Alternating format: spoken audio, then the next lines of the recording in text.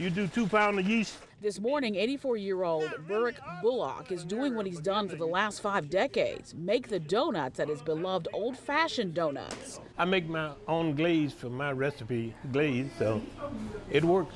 People love it. The legendary black owned business at 112th and Michigan Avenue in the city's Roseland neighborhood has been feeding the community for years, celebrating its 50th anniversary this week.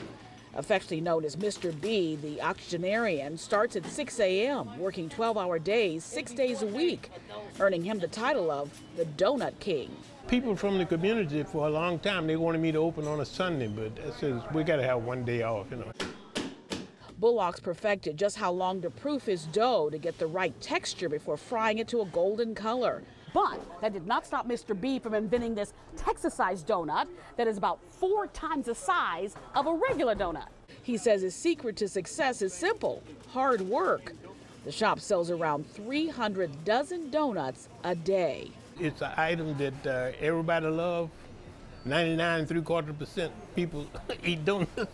In recent years, the business has become a family affair with Bulloch's brother, daughters, and granddaughter joining in with no signs that he is slowing down. I'm a workaholic, you know, been working all my life.